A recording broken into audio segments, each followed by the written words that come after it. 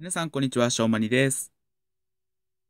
今回ですね、えー、トミカの箱を開けるときに使っている道具を紹介したいと思います。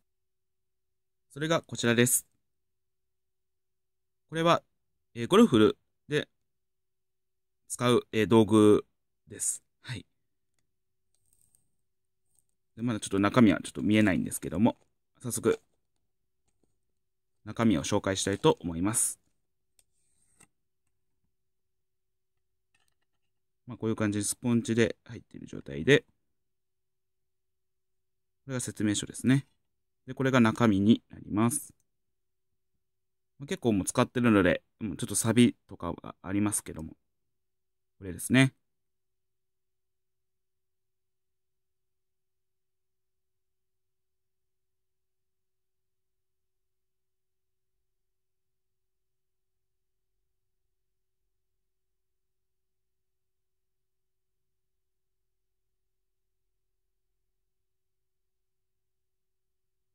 持つところは太い感じですね。で、先っぽは細い感じになってます。で、これが説明書になります。グリーンフォークという道具ですね。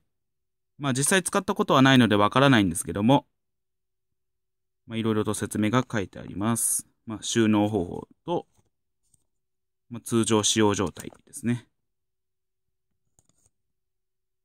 それではこの道具を使ってトミカの箱を開けてみたいと思います。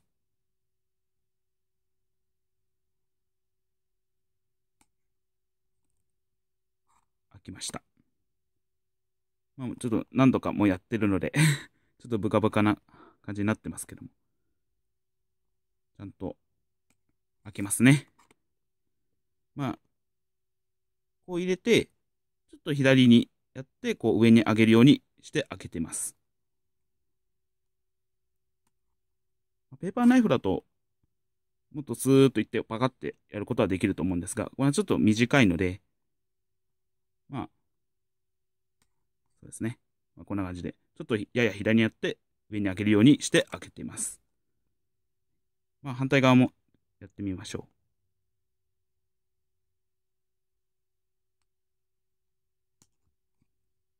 う。開きました。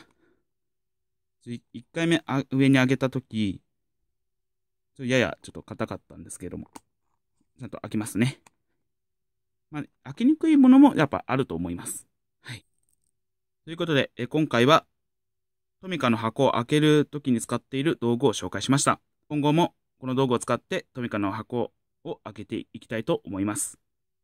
まあ、トミカ以外の箱でも、まあ、使えたらいいなと思います。まあ、これぐらいの箱の大きさだったら使えると思うので、はい。